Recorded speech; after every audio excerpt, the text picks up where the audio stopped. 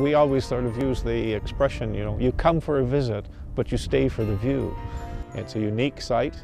We've got uh, four ecosystems in the North Okanagan. Uh, you can go from lake, which we have Okanagan Lake, Kal Lake, and Swan Lake, uh, all become part of the area. And uh, they're all visible from our site. And then we can look right up to the, the top of Silver Star. So we have everything from the ground water level uh, up to about 6,200 feet above sea level.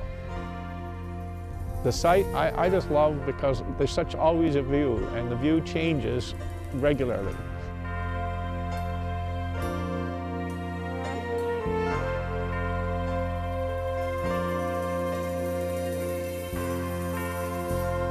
Uh, the Allan Brooks Nature Center Society actually operates the Allan Brooks Nature Center, which is in the Interpretive Nature Center here in Vernon. Uh, it started in uh, early 1994. The federal government uh, closed the federal weather station on the site here.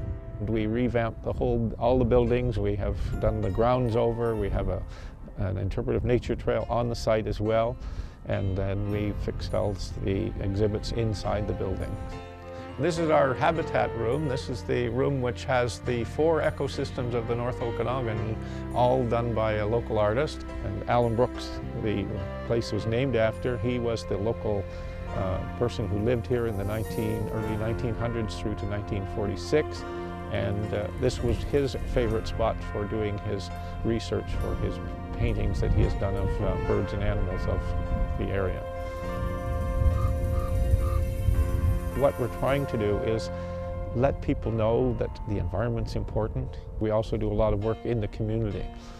We're doing uh, the uh, specific uh, inventory of all the animals and plants on a number of areas in and around Vernon and giving those to the planners as well as to the general public.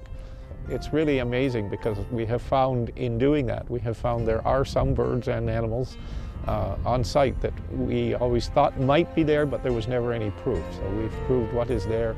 We've also found that there are some land that uh, really should be protected because of the uh, plants that are growing, but also because of the uh, wildlife and small critters, etc., that are there. We have probably the largest number of uh, marmots, the yellow-bellied marmots.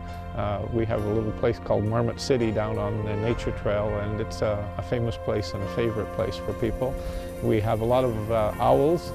Uh, it's the raptor birds. Actually, this the Commonage which we're sitting on is one of the best places in North America to see raptor birds. We have everything from golden eagles through to uh, red-tailed hawks, the Vancouver Foundation has been very supportive of our efforts. I mean, we have applied several times for grants. They helped pay the price or the cost of our operation.